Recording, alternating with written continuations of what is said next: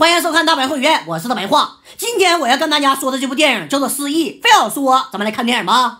这部电影说的是啥呢？说呀，咱们的男主是一名事业小有所成的制片人，咱们叫他有成哥。那么他是制作啥节目的呢？就是那些鬼呀、神啊之类的。工作太投入，这晚上就做噩梦了。咱们现在看到的画面就是有成哥在做噩梦，他梦到自己在一个结阴婚的现场，一个小青年被抓来跟死去的女人结婚，新娘子老吓人了。于是有成哥就在噩梦中惊醒，早上起来跑步的时候还捡到一个树上的红包，结果一转眼就不见了。以我多年看恐怖片的经验，我觉得有成哥要出事儿，但是有成哥自己他不知道，还是要继续工作，对不对？果不其然，在录节目的时候，他们采访的嘉宾就说了，古代就有结阴婚的习俗，死去女人的家长会放在路边树上一个红包，里面会装着死者的头发，然后哪个男人捡到就要娶这个死掉的女人。那为啥要有阴婚呢？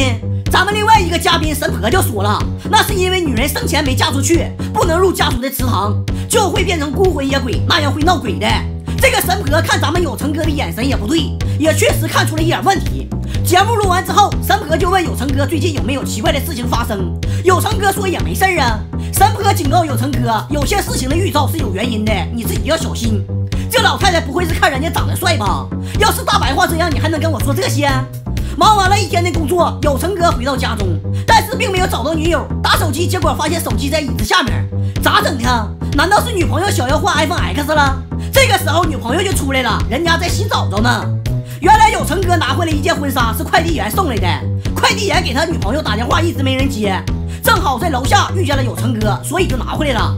哎，看来这对小情侣也要修成正果了。按理说这应该是很幸福的事情，但是咱们的有成哥还是会做一些关于结阴婚的噩梦，大半夜的老是吓醒。要我说，正好起来尿泡尿，半夜排毒有益健康也说不定。老做噩梦这也不行啊。于是有成哥在好兄弟小胡子的陪同下，找到了之前做节目的神婆。在神婆那里，有成哥知道自己是被女鬼缠身，并且从上一世就开始了，还查出来上一世有成哥什么时候死的，咋死的，在哪儿死的。山坡就让有成哥去查一查上一次自己死的时候都发生过啥事儿，这样他就可以帮助有成哥化解一下。回家之后，有成哥就赶紧查一查资料，原来上一世的自己是被车撞死的，地址也查到了，那咱们就去看看呢。你说这有成哥胆子还挺大，这荒山野岭还闹鬼的地方你都敢自己来，要是我的话都能把自己尿的尿脱水了，你信不信？来都来了，咱们看看到底是咋回事啊？原来呀，上一世的有成哥是一个小屌丝，没事在小树林里瞎溜达，捡到一个红包，里边还包着福贴和一朵头发。紧接着他就被抓到了一个土财主家里，说啥让他跟自己死去的女儿结婚，强行拜堂之后还要喝交杯酒，这也太扯淡了。也根本没法洞房，我跟你扯啥犊子呀？于是上一世的有成哥就跑了，逃跑的过程中撞到了汽车，就死翘翘了。有成哥在这里睡了一小觉，你心还挺大的呢。看到当初地主家里女儿的照片，吓一跳，这不是自己现在的女朋友吗？咋回事呢？这个时候女鬼就来了，今天我要嫁给你了，今天我要嫁给你了。要不是你问我，要不是你劝我，可是我就在这个时候害怕惶恐。有成哥估计是凶多吉少了。镜头一转，咱们再说说有成哥家对面邻居的小女孩，咱们叫她短发妹。为啥要说她呢？因为咱们的短发妹那是有阴阳眼的人，在学校看见一只狗的鬼魂，好朋友就接到电话，说自己家里的狗被撞死了。晚上回家之后，老是能看见有成哥家门口有一只女鬼，这个女鬼可不是缠着有成哥的那一只。毕竟短发妹还小，看见这些东西，你说能不害怕吗？这一天在上游泳课的时候，一个同学就说这个泳池死过人，连尸体都没找到，还吓唬其他同学。你说欠不欠？结果游泳的时候，这名同学就突然腿抽筋不行了。